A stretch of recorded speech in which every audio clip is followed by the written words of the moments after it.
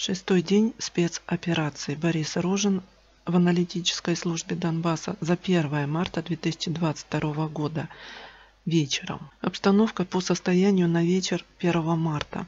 Первое. Киев. Наступления на сам город пока нет. ВС РФ расширяют зоны контроля вокруг города. Войска подошли к населенному пункту Бровары. В самом городе хаос, разгул фолькштурма.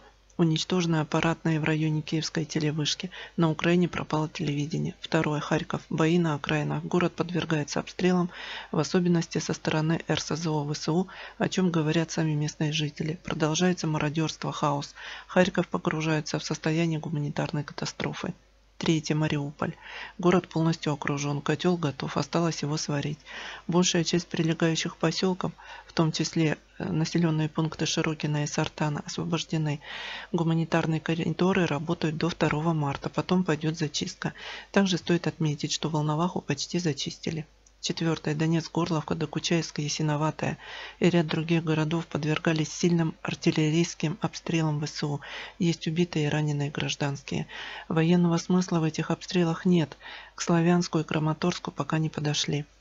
Пятое. ЛНР. Освобожден Старобельск и целый ряд поселков. Постепенно поджимают ВСУ в районе Северодонецка и Рубежного. Блокировано Сватово. Наступающие от границы войска РФ вышли к Изюму. Шестое. Запорожье. Идут бои у Васильевки, где ВС РФ пробивают импровизированный укрепрайон ВСУ, который прикрывает Запорожье. Седьмой Херсон. Утром началась зачистка, которая идет до сих пор. Войска РФ уже в центральных районах города, в том числе у вокзала. Уничтожен отряд местного фолькштурма. Восьмой Николаев. Вместо прямого штурма ВС РФ охватывает город. Он уже в полуокружении. Перерезана дорога Николаев-Кривой Рог. Девятая Одесса. Вопреки десантомании, десантов под Одессой не было или пока не было в городе признаки хаоса и истерии. Десятое Приднестровье. Несмотря на многочисленные рассказы о том, что ВС РФ нападут из Приднестровья на Украину, на этом направлении практически ничего не происходит. Еще раз напоминаю, это обстановка на вечер 1 марта. Борис Рожин. Шестой день спецоперации.